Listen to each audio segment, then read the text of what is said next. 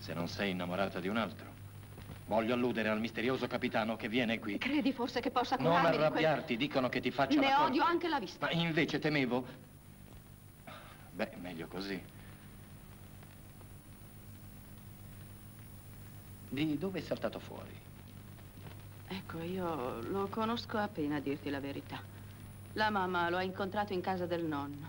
Ah, Oh, eh, ha raccontato una quantità di storie, non ricordo bene.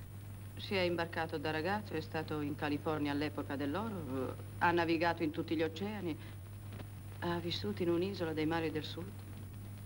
Così ha detto. molto romantico. È il suo trucco, fare il romantico.